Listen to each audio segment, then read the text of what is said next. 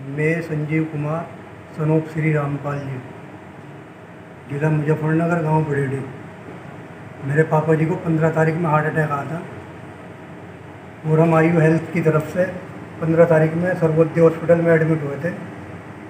और इनके थ्रू हमारा बहुत अच्छा इलाज हुआ है। सभी ट्रीटमेंट टाइम पे मिला है। और आज इन्हीं की बदौलत हम अपने पापा जी के साथ हैं।